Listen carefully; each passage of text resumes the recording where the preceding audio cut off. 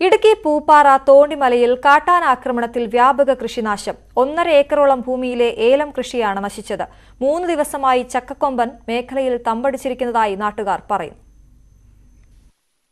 ചേരിയാർ സ്വദേശിയായ ഇസ്രായേൽ പാട്ടത്തിനെടുത്ത ഭൂമിയിലെ കൃഷിയാണ് കാട്ടാന നശിപ്പിച്ചത്. ബാങ്ക് വായ്പയെടുത്താണ് കുടുംബം കൃഷി നടത്തിയിരുന്നത്. ഇസ്രായേലിന് ശാരീരിക ബുദ്ധിമുട്ടുള്ളതിനാൽ ഭാര്യ റജീനയുടെ മേൽനോട്ടത്തിലായിരുന്നു കൃഷി നടത്തിയിരുന്നത്.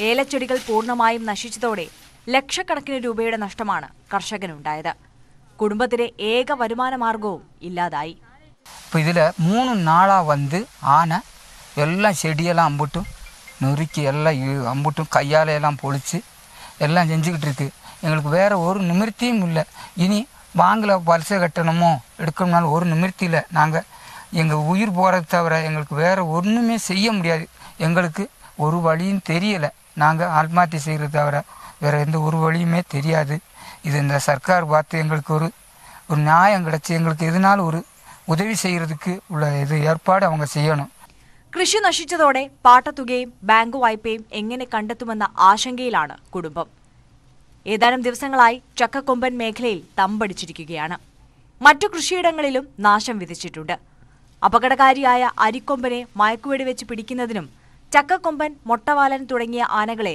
റേഡിയോ കോളർ ഘടിപ്പിച്ച് നിരീക്ഷിക്കുന്നതിനുമായി high range circle C C F chief wildlife വാർഡന് report സമർപ്പിച്ചിരുന്നു. എന്നാൽ തുടർ നടപടികൾ ഇതുവരെയും ആരംഭിച്ചിട്ടില്ല. News eighteen Idukki.